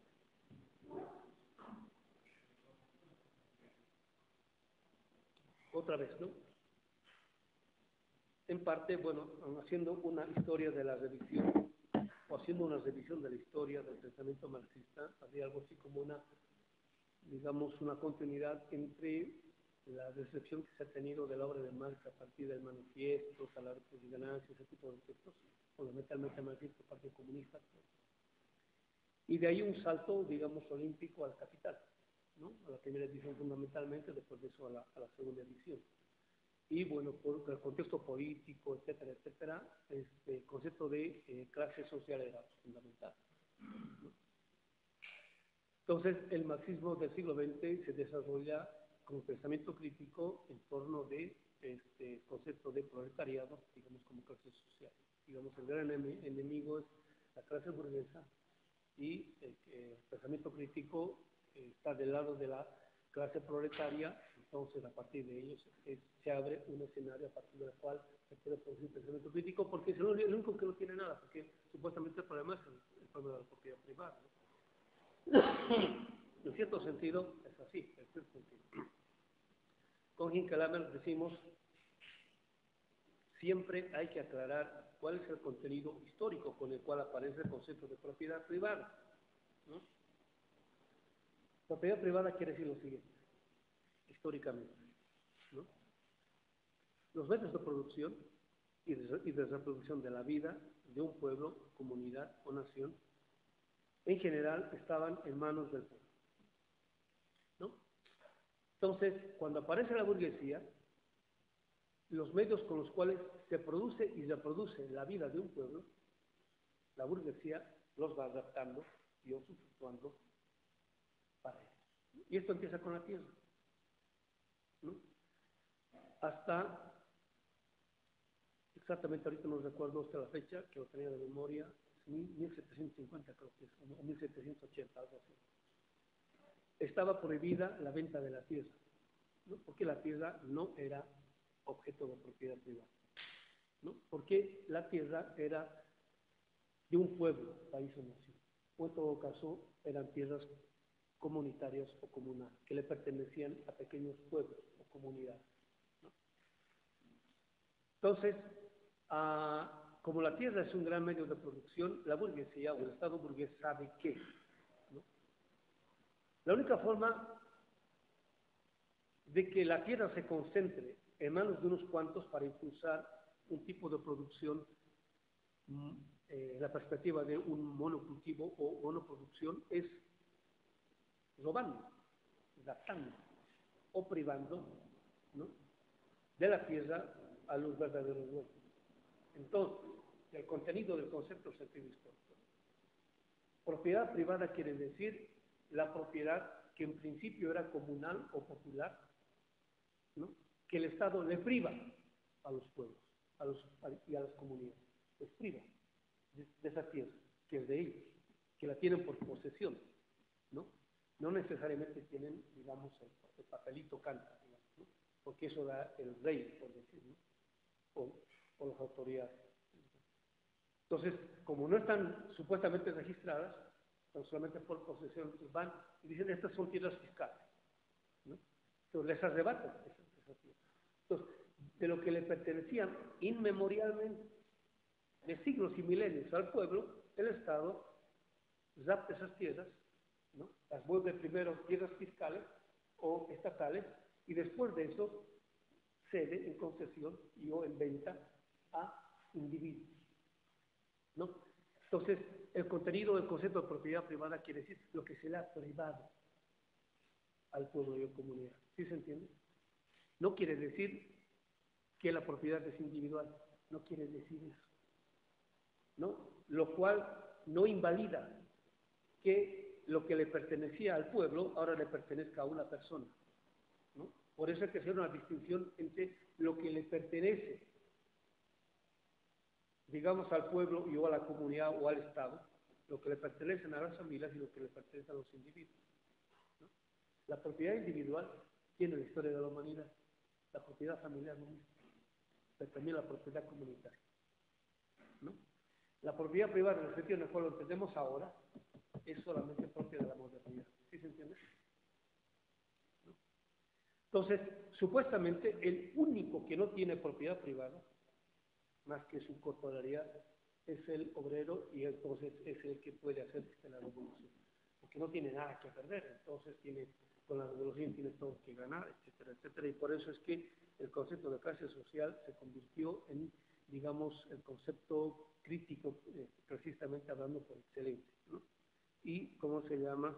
Fue erradicada, digamos, la idea del pueblo de la pretensión del pensamiento crítico. Y esto, digamos, se dio durante la teoría, la discusión relativa a la teoría de la dependencia y cuando, cuando aparecieron los famosos populismos, siempre comillas, hay que ponerle el populismo, en el cual el pueblo sale, este, con pretensión política para transformar la realidad de sus pueblos. Entonces, desde la perspectiva del marxismo estándar o clásico o del siglo XX, se privilegia al concepto de clase social como el concepto eh, crítico por excelencia. ¿no? El concepto de pueblo, digamos, pasa a segundo plano. Entonces, ¿qué es lo que descubre Marx? Perdón, ¿qué es lo que, qué es lo que descubre Dussel en su lectura de Marx? Descubre de que el proletariado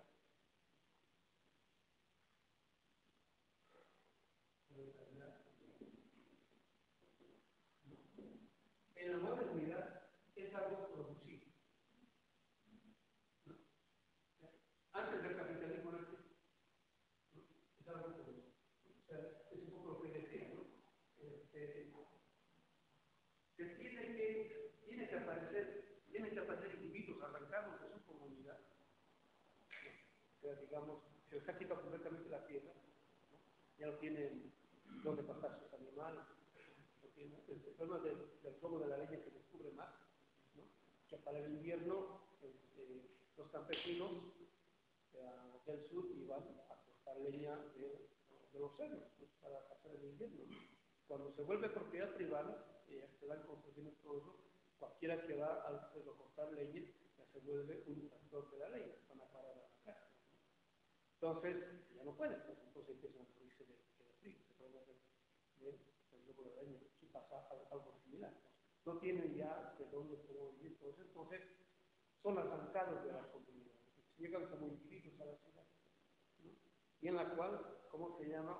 En la ciudad, política no quiero decir, que llega gente de distintos lugares. Y todos tienen una necesidad similar. Todos necesitan comer hoy. No solamente ellos, sino también sus familias, ¿no es cierto? Y van a... Están haciendo trabajo en en Vallejo, por ahí hay una planta industrial, van corriendo ahí, no va uno, van cientos. Y pues ahí, digamos, ahí solamente para 10 plazas, ¿no? Y son 300, 400, 500, ¿no es cierto? Entonces ahí se mete quien, quien puede meterse, ¿no? Se aparecen como individuos, ¿no? Entonces son individuos, este, ¿cómo se llama? Articulados en torno de una forma de producción donde nadie, están juntos, pero a, su vez separados. Son individuos que de distintos lugares, hasta, con distintas lenguas, con distintas culturas, etcétera, etcétera.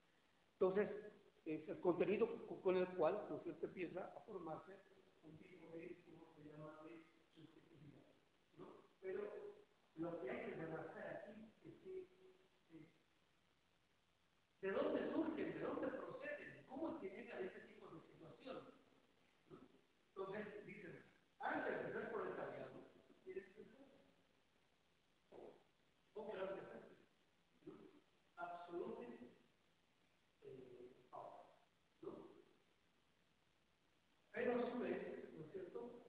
Antes de ser pobre, ¿cómo pobre? Después, la condición sin la cual usted está para la sanitaria, yo creo que recuerdos, ¿no? Cuyo contenido son los pocos. Pero contrario, ¿no? Pero contrario. Entonces, del 100% de todos estos pobres, quienes tienen el privilegio de ser explotados, nunca es el 100%. Siempre es un porcentaje menor. Digamos en el óptimo sentido de la palabra, el 50%. Y nosotros sabemos ahora que poco a poco se está reduciendo, reduciendo, reduciendo, reduciendo. No que no se pueda parar, pero no se puede. Que digamos, eh, dice ¿no? ahora ser exportador es es un privilegio. Que digamos, quien tiene una fuente de trabajo ahora es un privilegio. ¿no? Entonces,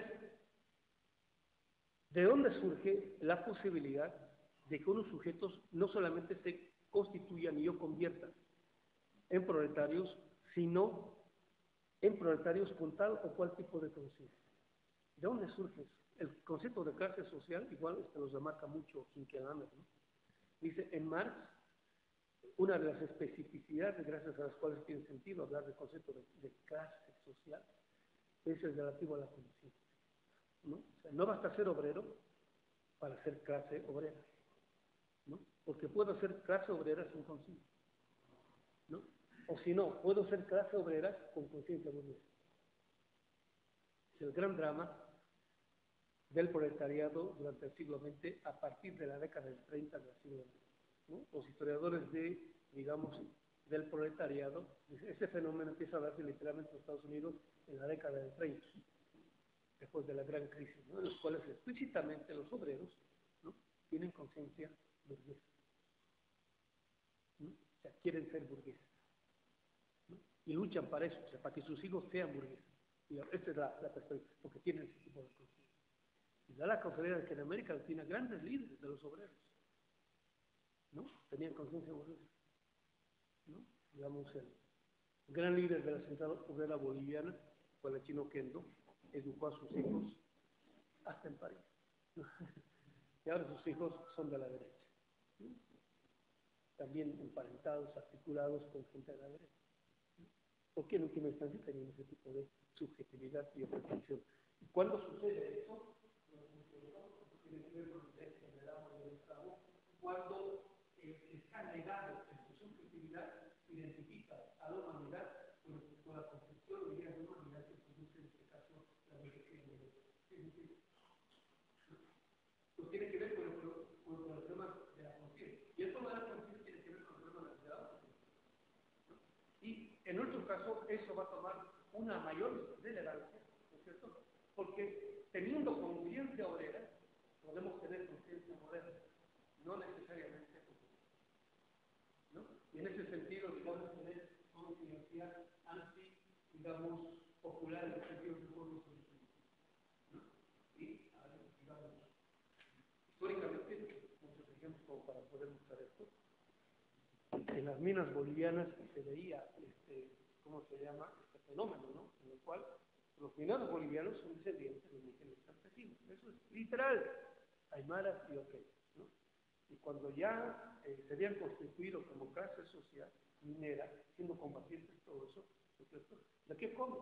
¿no? Que están en la luna todo el tiempo, ¿no? No ocho horas, diez horas, doce horas. Van a sus casas a dormir. ¿De qué comen?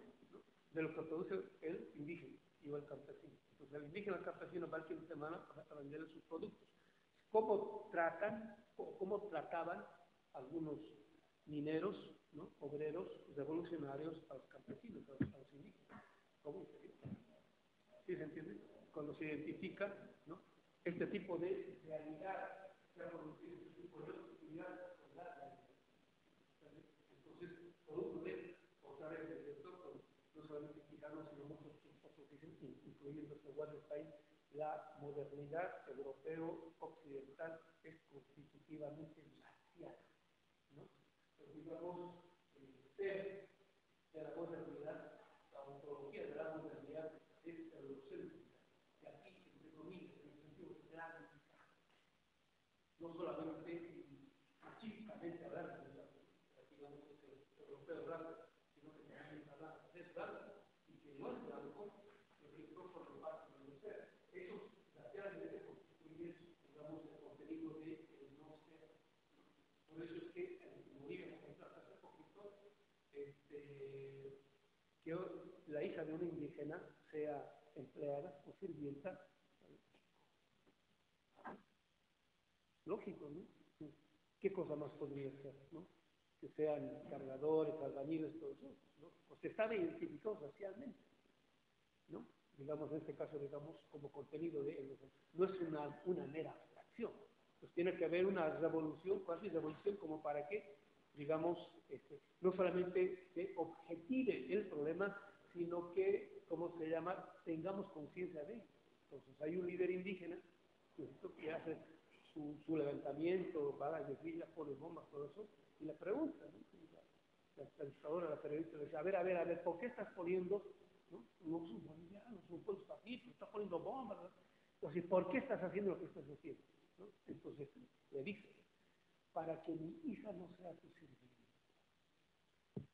¿Sí se entiende, no? Es el contenido. que no podemos ser manos de obra. Filósofos, es solamente el primer mundo. ¿No? Aunque nos lo tomemos en serio, vamos, trabajamos en serio, ellos dicen, no, pues ustedes. Ah, está bien que sean sociólogos, antropólogos, ¿no? no está difícil, ¿no? ¿Sí se entiende? O sea, no es una mera reflexión abstracta, ¿no? Y Marx está hablando de este tipo de sentido, y los marxistas no lo entienden así. Ese es el problema. ¿Por qué? Porque tienen categorías, gracias a las cuales pueden descubrir el contenido, material contenido en la dimensión del, del no ser o del no ser. Primero quiero trabajar y después. Una pregunta. La riqueza y la riqueza.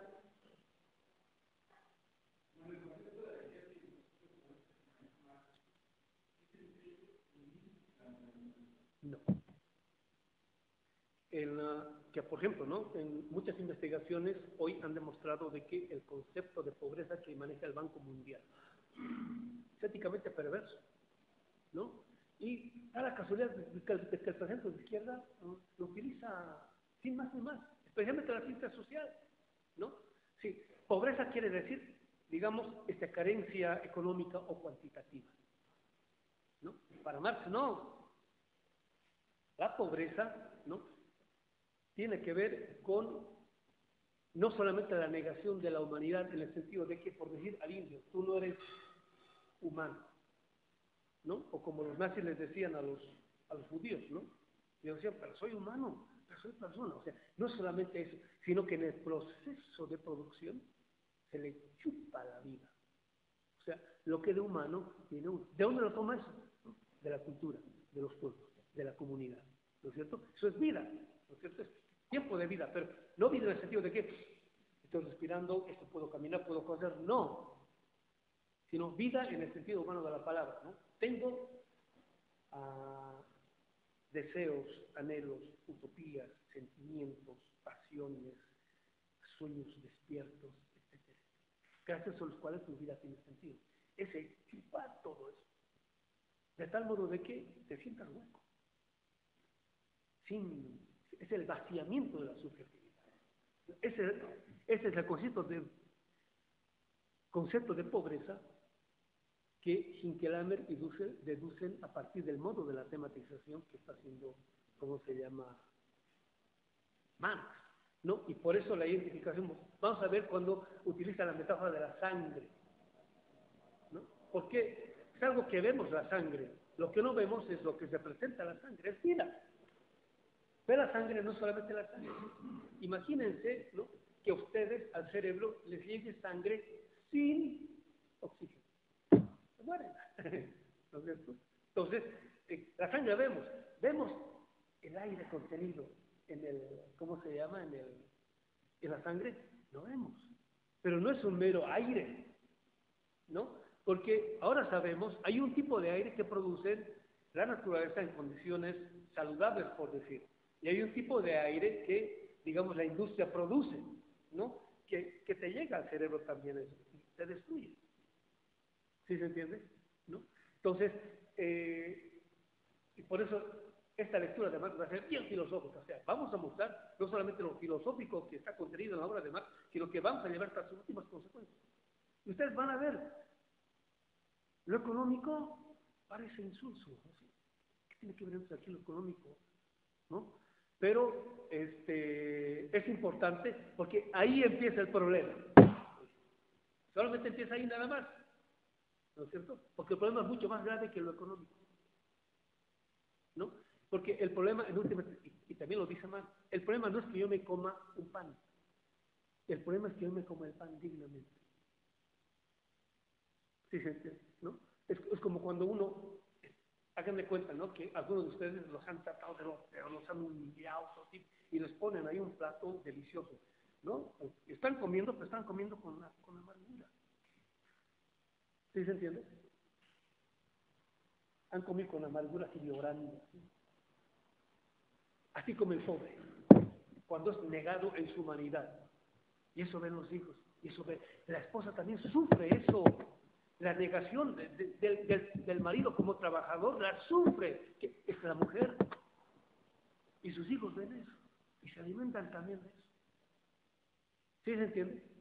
No es un mero pan que tiene tal cantidad de proteínas o, vitaminas. ¡Ah! Marx llega hasta esa tematización. que Marx se da cuenta para que el pan sea más barato y dé más ganancias, y en los tiempitos de Marx le empiezan a meter todo tipo de cosas al pan. Sí, ahora le meten hasta pelo humano, pelo de gato, le meten al pan para que sea divino. ¿No? Y nos lo comemos, ¿por qué? Viene en bolsita, bien bonito, vivo. ¿no? Y me siento bien, porque voy a comprar eso en el súper y no en el tianguis, ¿no? ahí, ahí, ahí, todavía hay mano de Y Benjamin también va por ahí. es aquí lo que está contenido como subjetividad de la mercancía. Sí. Marx, el capital de Marx sirve para saber uh, por qué vale y no vale la mercancía. La obra de Benjamin sirve para saber cuándo la mercancía sirve o no para la vida.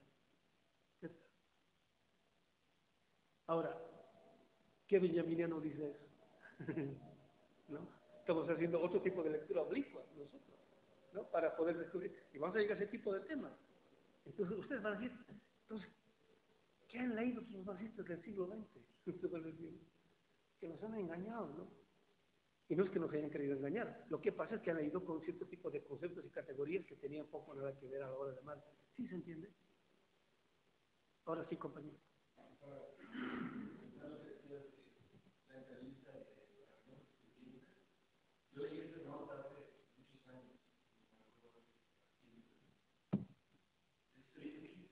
Sí, el maestro.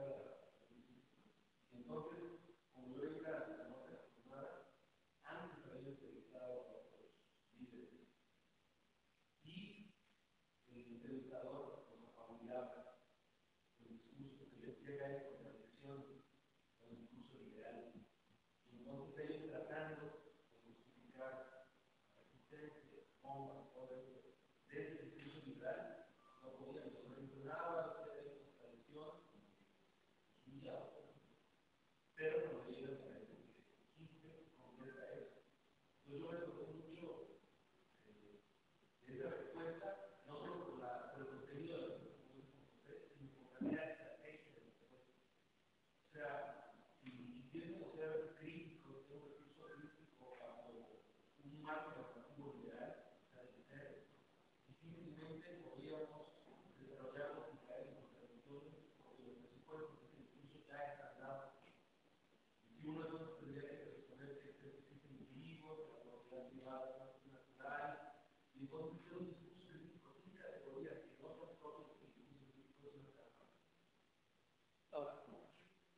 Fíjense en lo que acaba de decir él.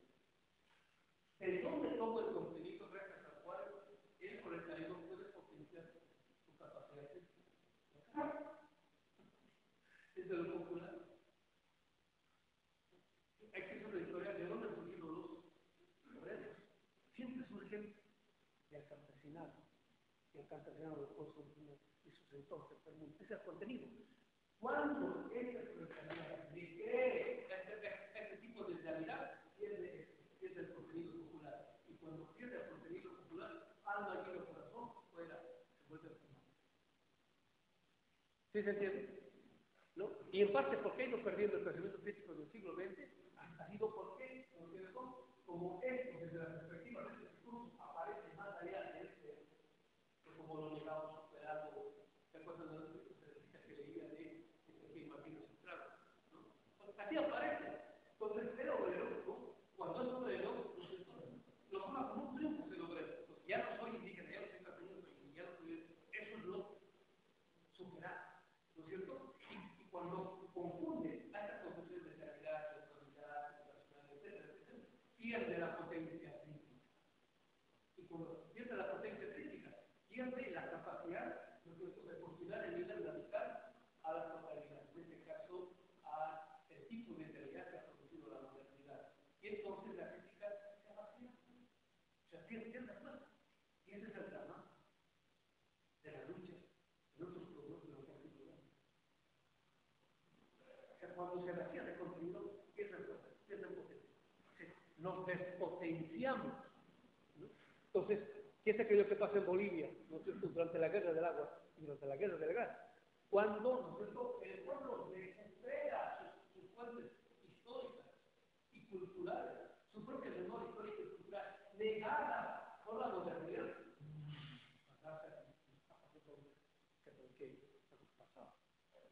Se está despotenciando, ¿por qué? Porque se está desconectando de nuevo con este tipo de historia y de memoria cultural. Porque quienes arrasan contra las realidades establecidas, los pueblos, no son los partidos políticos. Es una visión negativa. Yo estoy en contra del, partido político, pero tengo una visión negativa. Son otro producto de la modernidad. Son bien, bien. Por eso, en general, son antipopulares. Antipopulares aquí quiere decir el pueblo no lo sigue. Eso quiere decir. Porque el pueblo no se haya identificado con las pretensiones políticas de los partidos políticos. Tienen buenas pretensiones, tienen buenas pretensiones, pero parten, presuponen en última instancia a la modernidad. ¿no? Y el pueblo intuye que es aquello que lo niega. Intuye. Ellos funcionan con el cerebro derecho, no con el cerebro izquierdo. Este es el lógico instrumental, este es el, intuitivo. Se capta, se dan cuenta. Y por eso a la mera hora no están detrás de los partidos políticos. Y que dicen los partidos políticos, es que todavía son premodernos, tienen conciencia premoderna sea, sigan manejando ese tipo de conceptos y yo este categoría. Y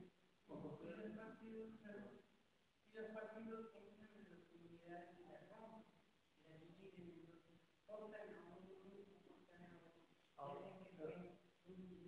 Porque entra con ese tipo de cosas, ¿no? Entra con ese tipo de cosas. Ahora, ojo, como la intención. No con malas intenciones. Ahora, ¿hay, hay malas intenciones de, de, de, Sí, pero en general, ¿por qué? Porque hemos creído en ti, Esto es lo moderno, esto es lo superior, esto es lo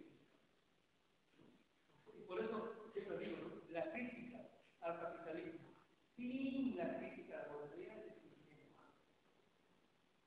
Es ingenuo. Una consulta, ¿no? mencionando la pregunta que tiene el compañero, eh, es que la construcción de la riqueza blanca moderna. Acabo de, bueno, estoy revisando la parte de la segunda internacional, cuando más comienza la, las formas de capitalistas, ¿no? anteriores a la capitalista.